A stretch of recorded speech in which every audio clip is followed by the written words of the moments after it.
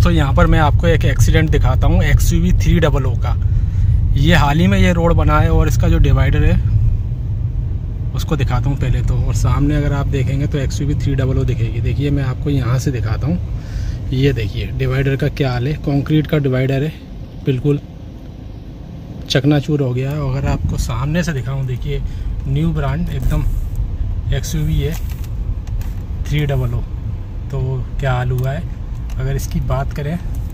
तो देखिए दोस्तों, अब मैं आपको दिखाता हूँ। गाड़ी का क्या हाल हुआ है। वो तो सेफ़ गाड़ी है ये फाइव स्टार सेफ्टी के साथ में आती है। न्यू ब्रांड गाड़ी है, दो महीने हुए हैं अभी। एयर बैग भी बिल्कुल डिप्लॉय हो गए हैं।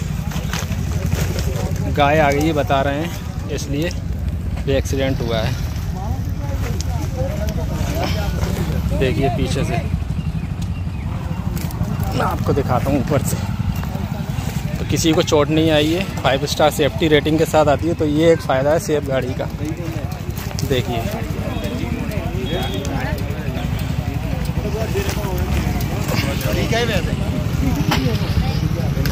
और ये देखिए दोस्तों डिवाइडर का हाल।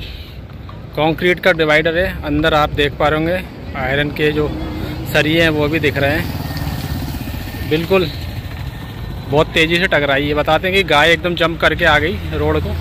तो डिवाइडर से बहुत स्पीड में गाड़ी होगी। टकराई और टकराने के बाद आगे का जो बम्पर है अंदर चले गया है। बाकी गाड़ी जो है डैमेज हुई है, लेकिन किसी को चोट नहीं आई है। भाई से हमारी बात भी हुई है, छोटे भाई को थोड़ी बहुत चोट आई है, ज़्यादा चोट नहीं आई, अकेला चला रहा था। तो बहुत ज़्यादा सेफ़ गाड़ी है ये, आप देख पा रहे हो कहीं यहाँ। तो भाइयों, देखिए, इस तरफ़ जो डिवाइडर है, उसकी क्या हालत है? अब ज़्यादा वीडियो इसलिए नहीं बना पाया मैं, क्योंकि भीड़ ज़्यादा हो रही थी और वो कह रहे थे कि यार भैया मत बनाओ ज़्यादा वीडियो तो मैंने सोचा ठीक है, बाकी जो व्यक्ति था उसमें, वो सेफ़ है। लेकिन गाड़ी की हालत काफ़ी ख़राब हो गई है। डिवाइडर देखिए कंक्रीट का है ये।